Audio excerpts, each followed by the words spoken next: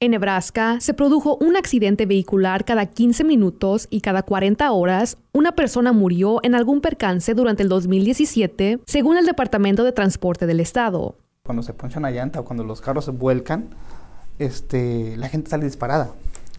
Los, como te dije, eso también crea una fuerza centrífuga. A la hora de que el carro empieza a girar, la gente sale disparada de los automóviles.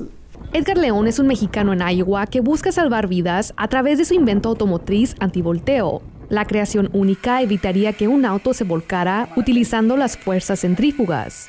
Cuando tú giras un, trompo y lo, haces girar así a, alta velocidad, el trompo se mantiene estable, parado.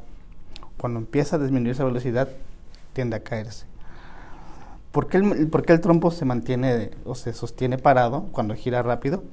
Porque cada parte del cuerpo del trompo quiere expandirse, pero no se puede caer ni para un lado ni para otro y se mantiene estable. Utilizando el prototipo que desarrolló durante los últimos años, León demuestra la anatomía de su invento. La idea central es que un disco conectado al chasis del auto rote tan rápido que estabilizaría al vehículo, evitando que vuelque. El originario de Michoacán, México, dice que el invento se activaría en una fracción de segundo. Como, así como la voz de aire cuando se activa, cuando siente el impacto, ¿ves cómo abre? Esto igual también sería y la idea ya llamó la atención de inversionistas. Después de patentar la creación en Estados Unidos y México, León firmó un contrato con el productor de televisión Edgar Valenzuela para la producción masiva de los dispositivos de seguridad en México. Ya cuando tengamos el desarrollo en México, yo ya lo voy a empezar a mover también aquí en Estados Unidos.